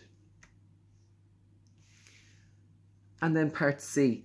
Uh, part C says the expression for h of t can also be written in the form k sine 3 over 2t minus alpha plus 65 find the value of k and the value of alpha, and hence explain what k represents in the context of the question. So if the function can be written like this, then I can start by saying this form of the function is equal to the other form of the function. So that would be k sine uh, 3 over 2t uh, minus alpha plus 65, so that's the, the new form of it, is equal to the old form, which was 65 plus 36 sine 3 over 2t minus 15 cosine 3 over 2t. So for this one, um, this first thing I suppose is that 65 on each side can cancel out just to make it a little bit easier. But what you need to notice here is sine A minus B. That's one of our trigonometric identities. So sine of A minus B is equal to sine A cos B minus cos A sine B. That's one of your trigonometric identities from your log tables. So we can write this side out in this form here. So we're rewriting k sine 3 over 2t minus alpha in this form here. So k sine 3 over 2t minus alpha is equal to, we can just leave the leave the k uh, with out out in front here because it's it's k times this. So k times sine a, so that's sine 3 over 2t cos b cos alpha minus cos a cos 3 over 2t sine b sine alpha. So multiplying in by the k, you get k times sine uh, 3 over 2t cos alpha minus k cos 3 over 2t sine alpha. So that's basically this side here rewritten. I'm going to let it equal to then the that side there. That's 36 sine 3 over 2t minus 15 cos 3 over 2t. Okay, so now we're going to actually equate these. So we have an equation here. And we have something with sine 3 over 2t. We have something with sine 3 over 2t. So I'm going to say that this bit is equal to this bit, uh, as far as here. And then this bit here is equal to this bit here.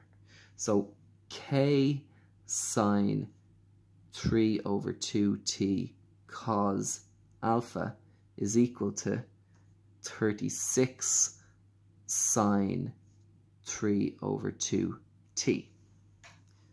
So I have something common to both sides. So 3 over sine 3 over 2t is common to both sides. So I can divide both sides by uh, sine 3 over 2t. That leaves me with k cos alpha is equal to 36 and then over here uh, for this one it's minus minus k cos um, 3 over 2t sine alpha is equal to minus 15 cos 3 over 2t. And I can do something similar with that. I have a common factor of cos 3 over 2t. I also have a minus which is common. So I can divide across by minus 1 and by cos 3 over 2t to get k sine alpha is equal to 15. So I have two new equations here. Um, and what I can do is I can combine these. So the left hand side divided by the left hand side is equal to uh, the right hand side divided by the right hand side or the right hand uh, the left hand side here divided by the left hand side here is equal to the right hand side divided by the right hand side. So that would be uh, k sine alpha over k cos alpha is equal to 15 over 36 well I have k over k here so they cancel out. And again, and this is the fourth time we get something like this happening in this exam, sine alpha over cosine alpha is tan alpha is equal to 15 over 36. So if tan alpha is 15 over 36, the tan inverse of 15 over 36 is equal to alpha. So alpha is equal to uh, 0 0.39 479. So that's alpha found. I now want to find um, k. So I can use this one here. I have k sine alpha is 15.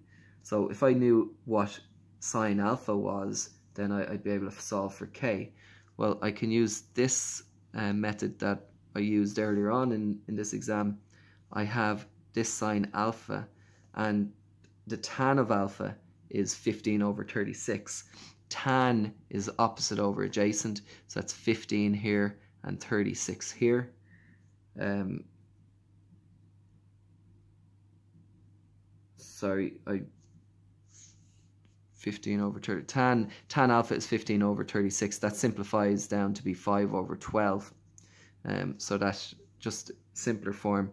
Um, so this would be 5 over at uh, 5 and 12 rather than uh, 15 and 36. It would actually work for with 15 and 36 as well, but 5 and 12, you should hopefully recognize that as a Pythagorean triple 5, 12, and 13. If you don't recognize it, you can just use Pythagoras to find the hypotenuse being 13.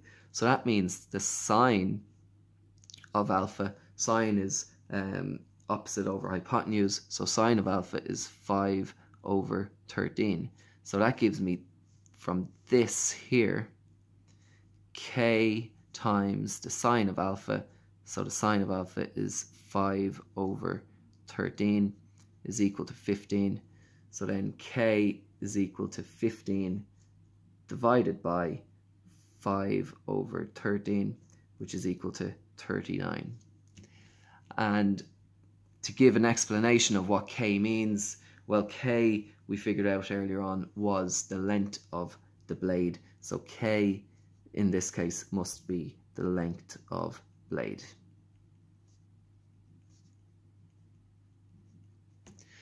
So that was a, a long question and a question that had some uh, tricky parts in it and some easy parts in it as well. So if you're a little bit confused, have another look over that section.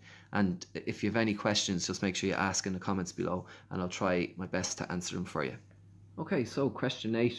Um, a lightning company uh, or a lighting company uh, rather produces several designs of light shades uh, one design is the shape of a pyramid with an open square uh, base of side 40 centimeters and a vertical height of 21 centimeters. Uh, sketch the net of the pyramid. No dimensions are required. So the net of the pyramid would just be, say, a square um, like that, and then the pyramid shape itself would be a bigger square around the smaller square like this. So no dimensions required. All you needed to do was draw a sketch of the net like so. Part 2. Find the slant height of the pyramid and hence the length of the other sides of the triangular surfaces of the pyramid. Uh, give your answer in centimeters correct to two decimal places. So the slant height of the of the of the pyramid would be drawing if we draw one side of the pyramid like this uh, the slant height is this height here L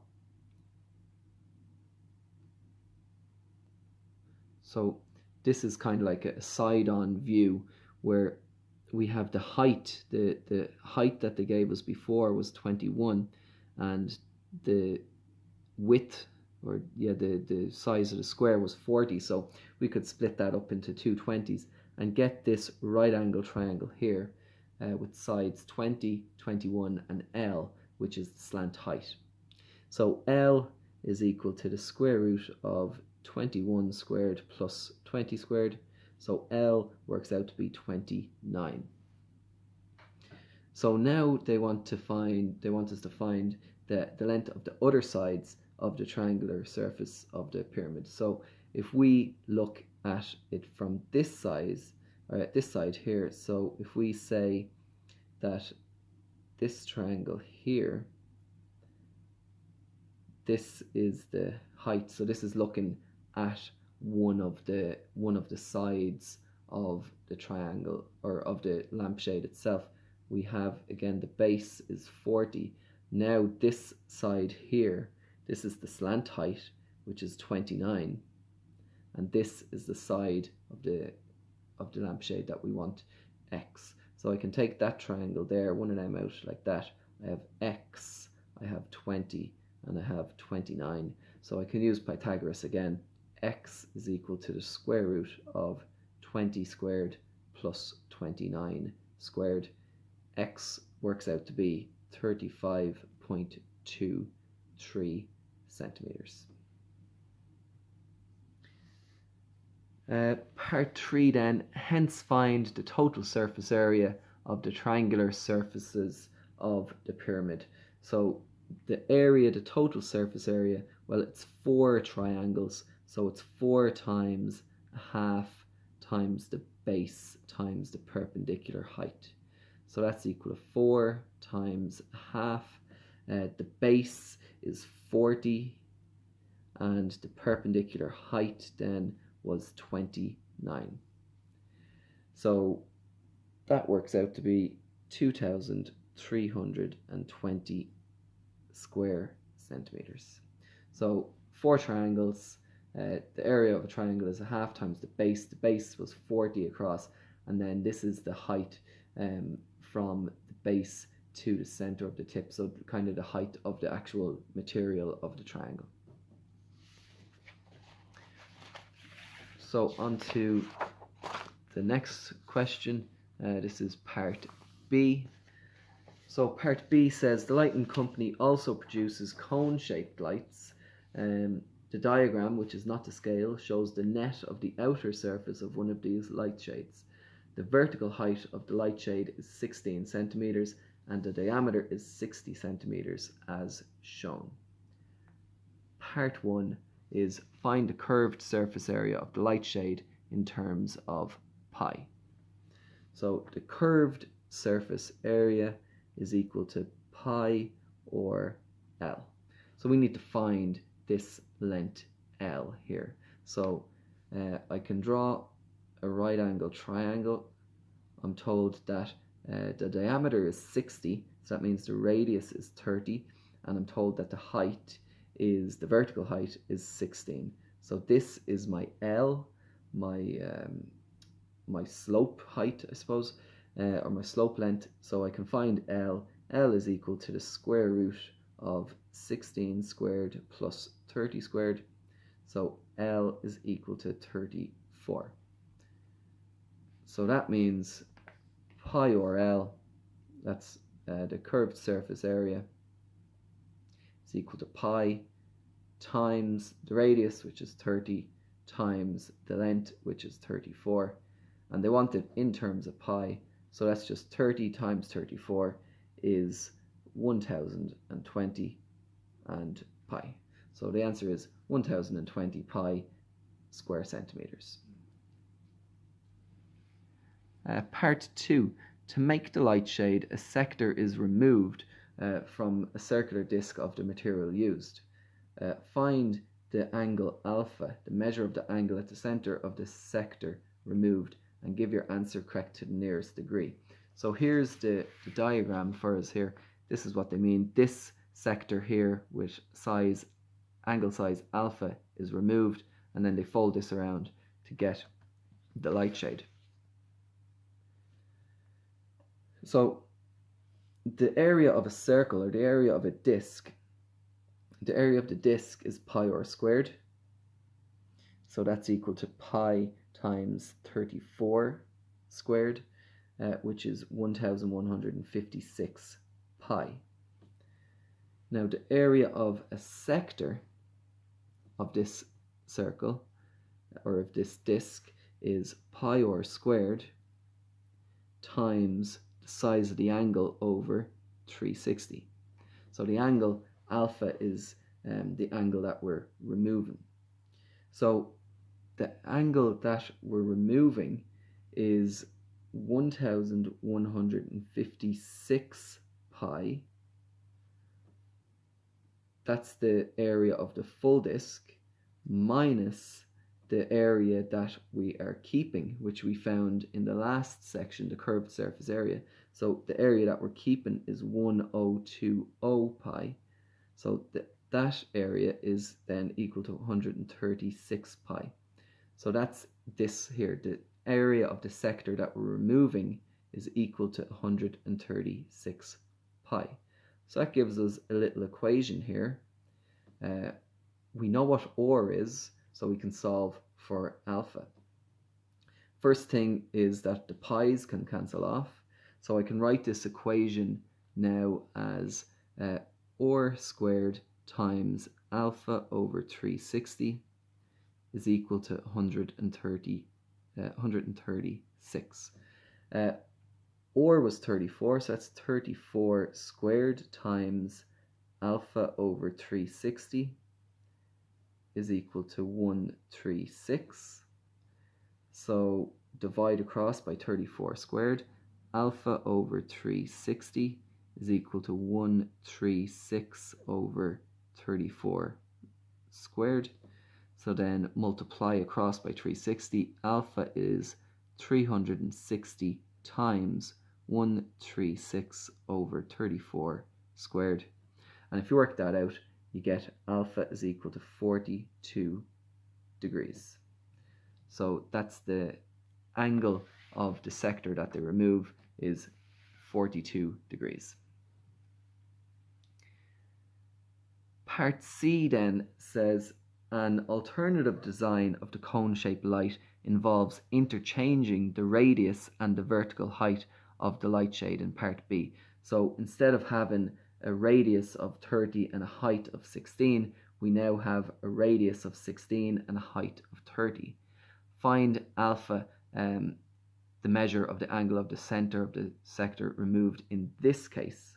So for this question, this part C is actually the same as part B, 1 and 2. It's just condensed into one uh, question. So the first part is to find my L. So just doing the same as before to find my L. This time my radius is 16, my height is 30. So L is equal to the square root of 16 plus 16 squared plus 30 squared. It's actually the same as before. It works out as 34. So doing the same as before, the curved surface area is equal to pi r L. This time it's pi times 16 for the radius and times 34 for the length. So the curved surface area is equal to 544 pi. That's the first half of the question. Um, the second half then is just doing the same as here. So the area of the disk the area of the disk is equal to pi r squared. So that's equal to uh, pi times 16 squared. So that's 1156 pi squared. Uh, sorry, so that's it's not uh, 16 squared, it's actually uh, pi times 32 squared. So just to explain what's happening there, we're still using the same disk um, it still has a radius of 34 centimeters, but it has a different angle. So what's going to happen is when we fold it around like this to make our lampshade, it's going to end up uh, being a lot taller and actually a lot taller and a lot narrower, but it's still cut out of the same size disc. So the, the area of the disc is the same. It's pi r squared um, and r being 34. The area of the sector then, uh, the area of the sector is pi r squared times alpha over 360 and we're going to find this alpha um, the same as the last time. Uh, this sector that's removed again is 1156 pi minus what we uh, found before which is 544 pi 544 pi, which is 612 pi. So the area of the sector that's removed is 612, so we can write this equation up here. Uh, pi r squared times alpha over 360 is equal to 612 pi. So same as the last last uh, section, uh, cancel out the pi's. Uh, or is 34 again. Uh, and if you remember the order from the last time, uh, alpha was 360 uh, over 34 squared times um, the 612. Okay, so it was uh, just the same as, as the one before. So 360 times 136 over 34 squared. Um, so 360, it actually doesn't matter where you put it. Um, 34 squared, you get the same, same answer either way. Um, so alpha is equal to 191 degrees.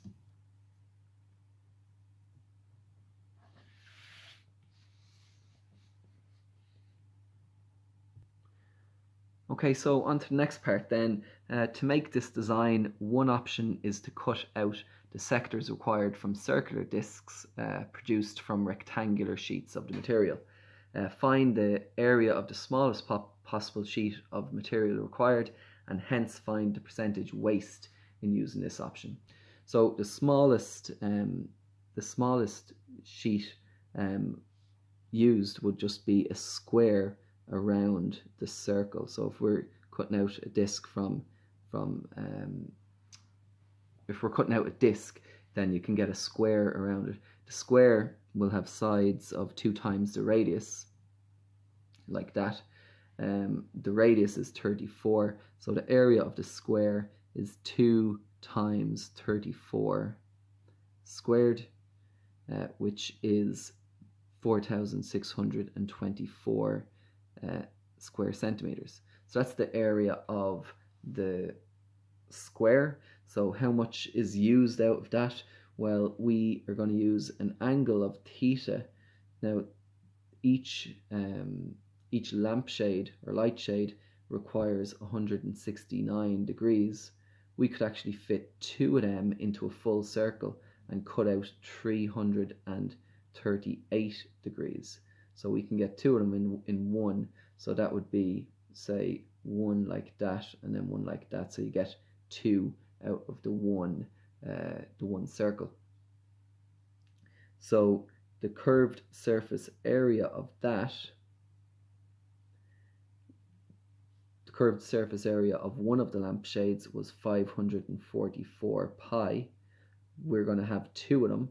So that's 1088 pi, which works out as 3418 um, square centimeters. So the percentage waste, that'll be the total used, so it's 4,624 minus um, how much we actually use, so that's 3,418. So that's the, the amount of waste uh, that there is on the top divided by the total amount of the square divided by 4,624. So that's equal to 0 0.2608, which is approximately equal to 26.08%. Part 3 says a second option is to cut uh, the sector required directly from a rectangular sheet of material, uh, like the diagram shown. Find the smallest possible sheet of uh, material required and hence show which option is more efficient.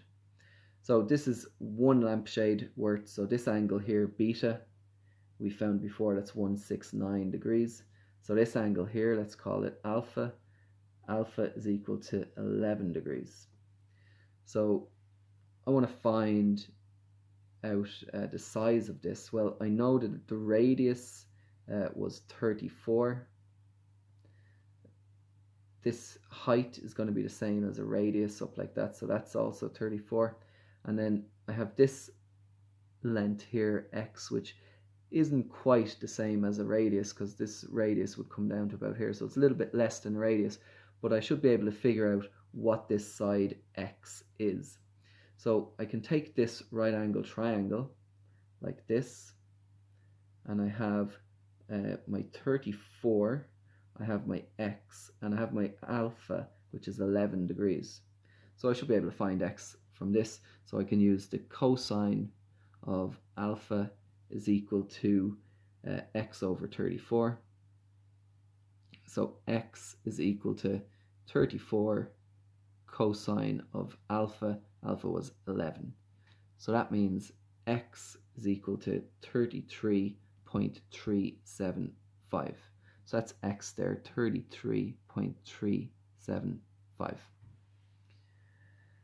So that gives me a rectangle like this with a side of 34 and a side here of 34 plus 33.375 which is uh, 67 67.375 so the area of that is 34 times 67.375 that's equal to 2290.75 the area of my sector so the area of my sector the same as before was 544 pi which is 1709 so how much waste is there? The percentage waste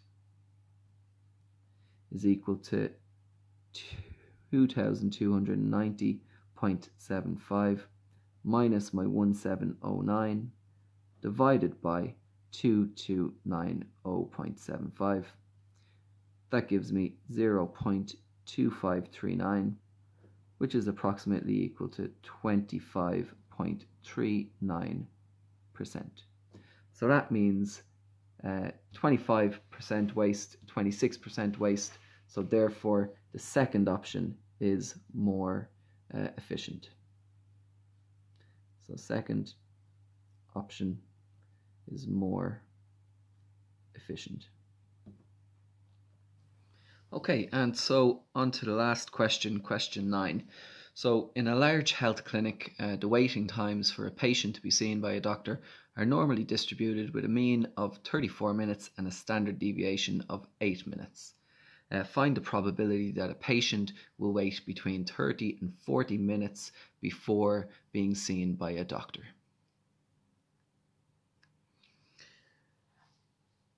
So we are looking for uh, the probability that uh, our x, the time, will be greater than or equal to uh, 30, but less than or equal to 40. So basically we're going to use our z-scores to calculate this. Okay, so um, your z-scores, the formula to find your z-score is z is equal to x minus mu over sigma. Uh, we know mu or mean is 34 and sigma or standard deviation is 8.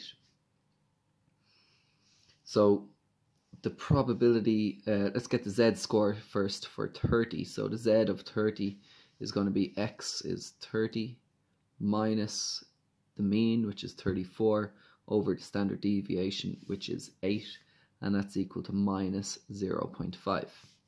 The Z score then for 40 is 40 minus 34 divided by 8, which is 0 0.75.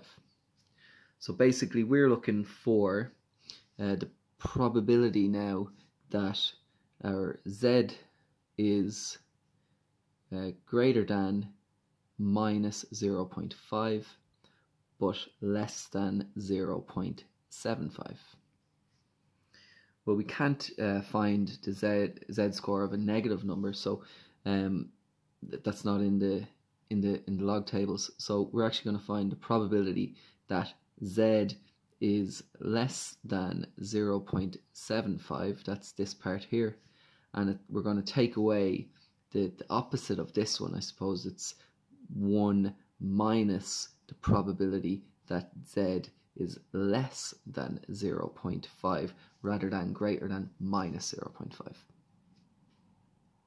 So you get these from your log tables.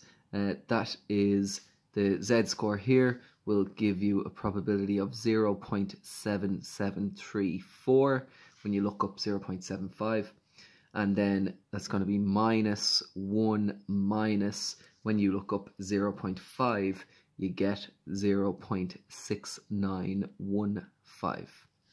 So that gives us 0.4649. So that's the probability that the uh, patient will wait between 30 and 40 minutes. Uh, find the upper quartile of waiting times for patients to be seen by a doctor. So the upper quartile is um, above 75%. So we want the probability uh, that Z is less than or equal to K to be equal to 0.75. So you look up set, uh, 0.75 um, in your tables and you'll get Z is equal to 0.675. So that is our Z score. So now we can use the formula for it. Z is equal to our X minus our mu over sigma. Uh, fill in Z 0.675 is equal to X. Now this is K that I'm looking for. K uh, minus 34, which is our mean, over a standard deviation, which is 8. And we work that out and solve for k, you'll get k is equal to 39.4 minutes. So the upper quartile for waiting times uh, to be seen by a doctor is uh, 39.4 minutes. the director of the health clinic uh, wanted to check whether these waiting times are accurate. She randomly selects 100 patients that visit the clinic and recorded the times that they had to wait to be seen by a doctor. She found that the waiting times of these patients were normally distributed with a mean of 35.7 minutes and the same standard deviation. Test the hypothesis at the 5% level of significance that the mean waiting time for patients to be seen by a doctor has not changed. State the null hypothesis and the alternative hypothesis.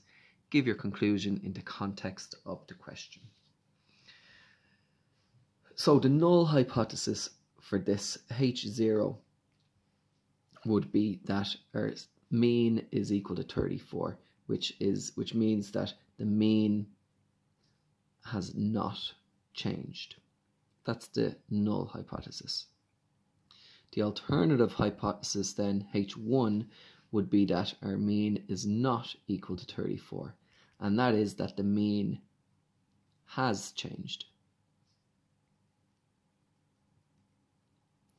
Okay, so we want to test this at the 95% level of significance, or sorry, at the 5% uh, level of, of significance. So what we're going to do is write down our x bar, which is 35.7. so that's the the level the mean that she found uh, our standard deviation was still 8 it's the same standard deviation and our n our sample size was 100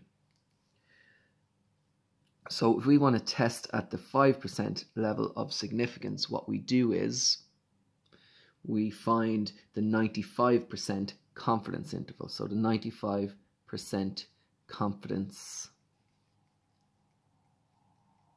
interval.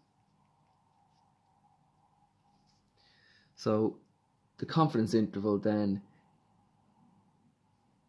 we have a formula for it. The formula is uh, x bar minus 1.96 times sigma over root n and x bar plus 1.96 sigma over root n. So we have x bar, we have sigma, we have n. So this is a an interval there, so you put it in in our brackets like that. So filling in what we know, uh, 35.7 minus 1.96 times uh, 8 over root 100, comma 35.7 plus 1.96 times 8 over root 100. Uh, so if you work that out, work them out separately, we'll get a confidence interval of 34.132 and 37.268. So that is our confidence interval. So that means our mean, our mu, is greater than uh, 34.132 and less than 37.268. And this is our 95% confidence interval. So we are 95% confident that the mean lies between these two values. That's what the confidence interval means. So the mean uh, that was found before was 34 minutes. 34 is outside of this interval. So 34 is outside of the interval.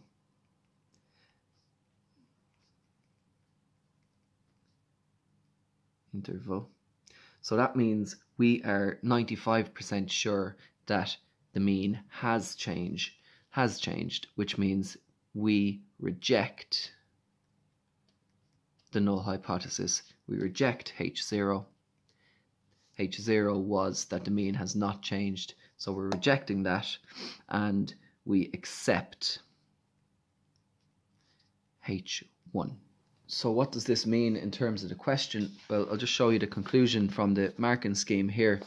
Um, so the 95% confidence uh, that the mean waiting time in this sample of patients lies in the range of 34.12 to 37.268.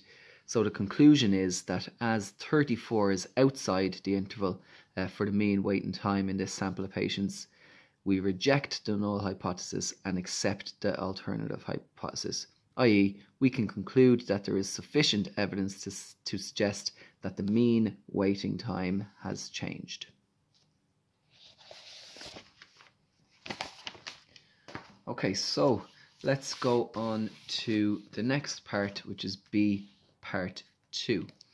So find the p-value of the test performed in B part 1 above and explain what this value represents in the context of the question. So to find our p-value,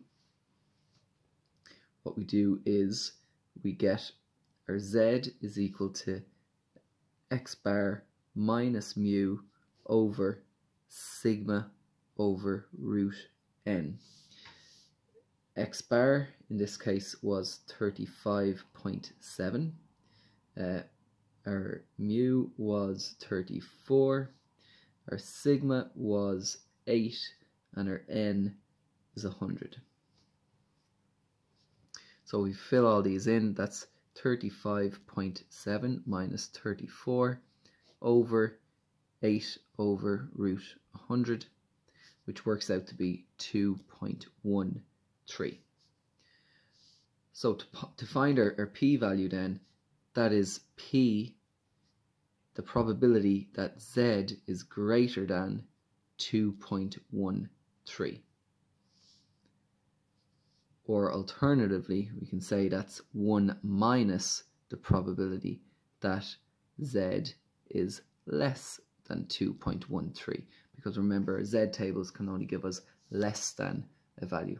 So that's equal to 1 minus, if you look up our z score here, you get 0 0.9834. So that's equal to 0 0.1, uh, 0 0.0166. So our p-value then is twice this. So p is equal to, uh, p-value our p-value is equal to 2 multiplied by 0 0.0166 which is equal to 0 0.0332 and then we will say that 0 0.0332 is less than our 0. 0.05 or 5% confidence interval. So to give an explanation for this one, again, I'm just going to refer to the marking scheme. So here's the explanation that they're looking for. Um, so we say we reject the null hypothesis H0 at the 5% level of significance. And the explanation is that the p-value is the probability that the test statistic or a more extreme value could occur if the null hypothesis is true. If the mean waiting time is correct, 34 minutes, then there's a 3.32% chance, that's what we have here, that finding a mean of 35.7 minutes. So there's a, a 3% chance that you'd get a mean of 35.7. And because this has less than a 5% chance, we reject the null hypothesis. Or another way of saying it is there's a 3.32% chance of finding a mean waiting time of 35.7 minutes if the null hypothesis is correct. So this is your explanation uh, to contextualize the question.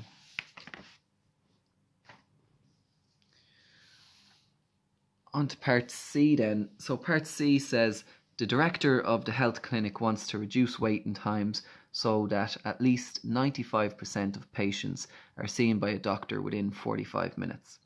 Research has found that employing more doctors will leave the mean waiting time unchanged at 34 minutes, but that the standard deviation will reduce by 0.4 minutes for each additional doctor. How many additional doctors are required to reach this target?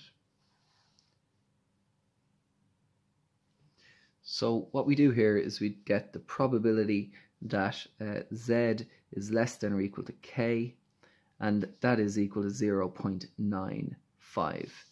Well, if we go and look up our z tables, so we find that z when at 0.95 is equal to 1.645. So that's our z-score. We're going to fill that into our formula. We need our x, which in this case is going to be 45 minutes. Um, our average then is 34, that's unchanged.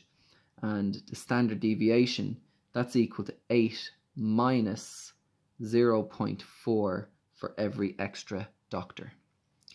So we'll sub this into our our z-score formula. So 1.645 is equal to 45 minus 34 over 8 minus 0.4 n. So multiply across by 8.8 minus 0.4 n. So 8 minus 0.4 n times 1.645 is equal to 45 minus 34, which is 11. So 8 minus 0.4n is equal to 11 divided by 1.645. Uh, minus 0.4n is then 11 over 1.645 minus 8. So then n is equal to 11 over 1.645 minus 8 all divided by minus 0.4. So we get n is equal to 3.28. So in order to get uh, in order to get 95% of patients seen within 45 minutes, we need 3.28 doctors, which means we need four extra doctors. Because if we had if we had uh, three, if we rounded down to three extra doctors, we wouldn't reach this target. So we need to get it to four extra doctors to reach the target. Okay, so and on to the last part then, the last question of this exam. Part D. Whilst taking the random sample in Part B, the director uh, also recorded the age of the patients. On further analysis, she, she found that the proportion of patients in the sample aged over, over 60 years or more. She also found the largest value of the radius of the 95% confidence interval for this population proportion was 9.408%. Find the smallest number and the largest number of patients in the sample who could be aged 60 years or more. Okay, so for our radius, what we're doing is uh, we have our formula here for z times the square root of p hat minus or times 1 minus p hat over n. And that's equal to this as a, as a decimal 0 0.09408. Now we do know um, we know some things in here. We know that Z is 1.96. We don't know what P hat is. That's what we're looking for. Uh, times 1 minus P hat. We know that N is 100 and that's equal to 0 0.09408. So this is my equation and basically I'm going to work through this and solve for p hat. So let's uh, divide both sides by 1.96 so that gives me p hat times 1 minus p hat over 100 is equal to 0 0.09408 divided by 1.96. I'm going to square both sides to get rid of the square root sign. So on the left, I get p hat times 1 minus p hat over 100. And on the right hand side, when I divide that by 1.96 and then square it, I end up getting 0 0.002304. I'm going to multiply across by 100 to get p hat times 1 minus p hat is equal to 0 0.2304. Multiply out the brackets then, you get p hat minus p hat squared. I'm going to take this over to the opposite side, minus 0 0.2304 is equal to 0. Now we basically have a quadratic equation so I'm going to multiply across by minus 1 to make the leading coefficient um, positive. So that'll give me p hat squared minus p plus 0 0.2304 is equal to 0. So I just need to solve now for p hat. I'll get two values and that will be my um, largest number of patients and the smallest number of patients. So it's a quadratic and it's awkward there. I'm going to have to use the minus b formula. So minus b plus and minus um, the square root of b squared minus 4ac over 2a. So a is 1, b is minus 1, and c is 0 0.2304. So minus minus 1 is plus 1, plus and minus the square root of 1 squared minus 4 times 1 times 0 0.2304 and that's over 2 times 1. So if you work through that and find your two values, which are your plus and minus, you end up getting p hat is equal to 0 0.64 and you get p hat is equal to 0 0.36. So to change that into the smallest number and the largest number of patients, um, the smallest number that would be 64 patients out of the 100 and that would be 36 patients out of the 100. So x is 64 and x is 36. These are um, these are proportions of our, our 100 patients. Okay, so that's the end of that exam. If you have any questions um, about any of the questions, just leave them in the comments below. I'll try and get back as soon as I can. Um, thanks for watching.